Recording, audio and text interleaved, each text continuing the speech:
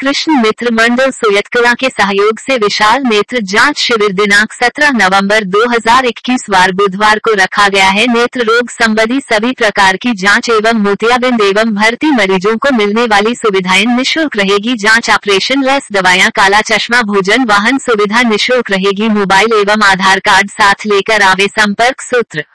Manish Gupta, stone crusher Soyatkala phone number सात आठ नौ आठ पाँच छह आठ एक एक एक। फलादी मेडिकल स्टोर फ़ोन नंबर नौ चार दो चार शून्य शून्य एक एक शून्य आठ। सचिन गुप्ता फ़ोन नंबर आठ तीन पाँच नौ शून्य तीन एक छह छह एक।